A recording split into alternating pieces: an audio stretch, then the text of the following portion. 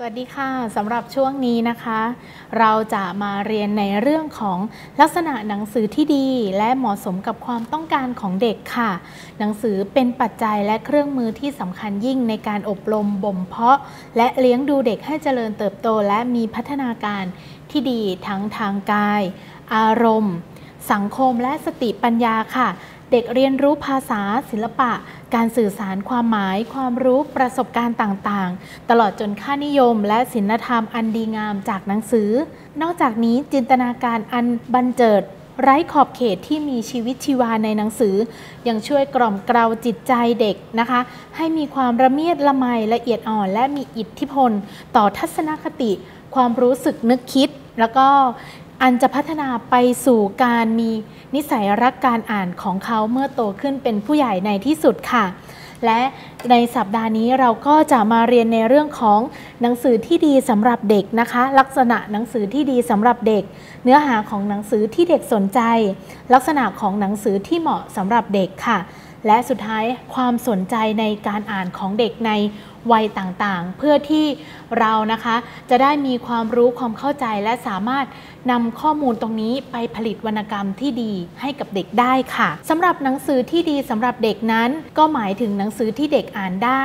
ด้วยความเพลิดเพลินสนุกสนาน มีเนื้อหาสารที่ตรงกับความสนใจนะคะ มีรูปเล่มที่สวยสะดุดตา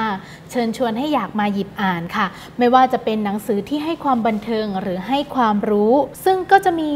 ลักษณะของหนังสือที่ดีสำหรับเด็กนั้นอย่างหลากหลายนะคะ ดังตัวอย่างนี้ค่ะ 1. ลักษณะของหนังสือที่ดีสำหรับเด็กนั่นก็คือ ให้ข่าวสารแก่เด็กได้ค่ะ หนังสือจะเป็นแหล่งข้อมูลที่ดีให้กับเด็กได้เป็นอย่างดีค่ะ เด็กจะต้องมีความรู้ความเข้าใจเกี่ยวกับเรื่องราวต่างๆ ได้มากขึ้นจากการอ่านหนังสือเล่มนั้นๆนะคะ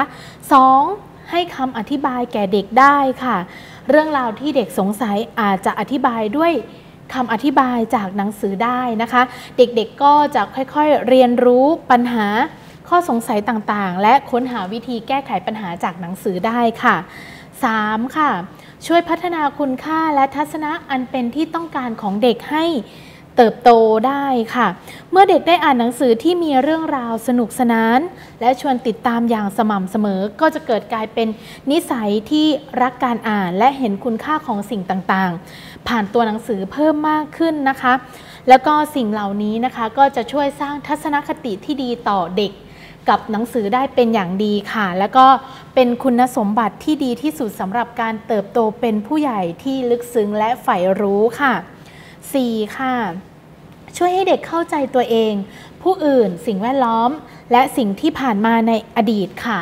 เด็กๆอาจจะมีความรู้หรือมีความเข้าใจต่อตนเองหรือผู้อื่นที่แตกต่างกันออกไปนะคะ หรือบางครั้งก็ไม่เข้าใจสิ่งสำคัญนั่นก็คือ การเรียนรู้ในเรื่องของนามธรรมนะคะนามธรรมบางอย่างจำเป็นสำหรับการเรียนรู้ของเด็กค่ะ เช่น ความรัก ความโกรธ ความอิจฉาความสูญเสียนะคะ หรือความตายนะคะ หนังสือก็จะทำหน้าที่ในการถ่ายทอด นามธรรมเหล่านั้นในระดับที่เหมาะสมกับเด็กค่ะ ซึ่งเด็กสามารถเข้าใจได้โดยรู้สึกว่าไม่ถูกยัดเยียดมากจนเกินไปนะคะ และ 5 ค่ะ เข้าถึงจิตใจภายในของเด็กค่ะ เด็กจะมีความรู้สึกที่หลากหลายนะคะ แต่ก็ไม่ซับซ้อน ในบางครั้งเด็กก็อาจจะมีความคับข้องใจ ไม่สบายใจ หรือมีความเครียดอาจเกิดขึ้นกับเด็กได้เสมอ หนังสือจะเป็นสิ่งที่ช่วยชดเชย ความรู้สึกที่ไม่ดีเหล่านั้นนะคะทำให้เด็กเห็นตัวอย่างของชีวิตอื่น แล้วก็ไม่ได้รู้สึกว่าโดดเดี่ยวนะคะ 6. ค่ะ ช่วยเพิ่มการรับรู้ของเด็กต่อสิ่งต่างๆ นะคะ หนังสือช่วยขยายความคิดความรู้และประสบการณ์ที่ยังจำกัดอยู่ของเด็ก ให้กว้างไกลออกไปในรูปแบบที่อ่านง่าย สนุกสนานช่วยจุดประกายให้เป็นคนใฝ่รู้ ค้นคว้าเรื่องราวที่เป็นประโยชน์ต่อไปค่ะ 7. ให้ความบันเทิงค่ะ สิ่งนี้นะคะเป็นสิ่งที่สำคัญมากๆสำหรับการผลิตหนังสือสำหรับเด็กค่ะ เด็กๆ ทุกคนมีธรรมชาติของความสดใส ร่าเริงและบริสุทธิ์อยู่ในตัวเองค่ะ หนังสือจะเป็นเพื่อนของเด็ก พาเด็กไปสัมผัสเรื่องราวที่สนุกสนานเพลิดเพลินเพิ่มมากขึ้นค่ะ 8. นะคะกระตุ้นให้เกิดจินตนาการนะคะ วัยเด็กเป็นวัยที่มีจินตนาการอย่างไร้ขอบเขต หนังสือจะช่วยส่งเสริมจินตนาการให้เขากล้าคิด กล้าฝันและกล้าที่จะนำจินตนาการที่ดีมาประยุกต์ใช้ในชีวิตจริงได้ค่ะ 9 ค่ะ เป็นแหล่งสร้างแรงบันดาลใจค่ะ หนังสือที่ดีจะเป็นแรงบันดาลใจช่วยกระตุ้นและผลักดันให้เด็ก กล้าที่จะทำในสิ่งที่ตนเองคิดและฝัน พร้อมที่จะทำตาม ความฝันของตนเองให้เป็นจริงได้นะคะ และนี่ก็เป็นลักษณะหนังสือที่ดีสำหรับเด็กทั้งหมด 9 ประเภทค่ะ หรือ 9 อย่าง เราจะเห็นว่าใน 9 อย่างนี้เป็นลักษณะของหนังสือที่จะช่วยพัฒนาให้เด็ก